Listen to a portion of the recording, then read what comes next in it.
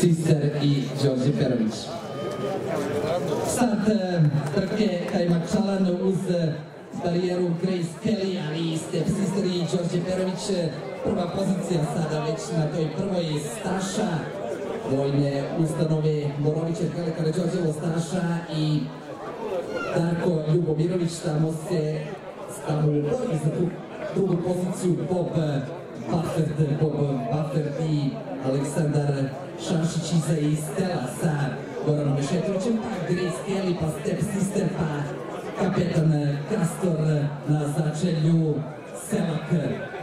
Čelo za Stašu i Ljubomirovića, druga pozicija za Bob Bufferta i Aleksandra Šašića, sada Bob Buffett probaće iznutra. Grace Kelly sa Željkovićem Staša i dalje na čelu, druga pozicija kroz sredinu za Boba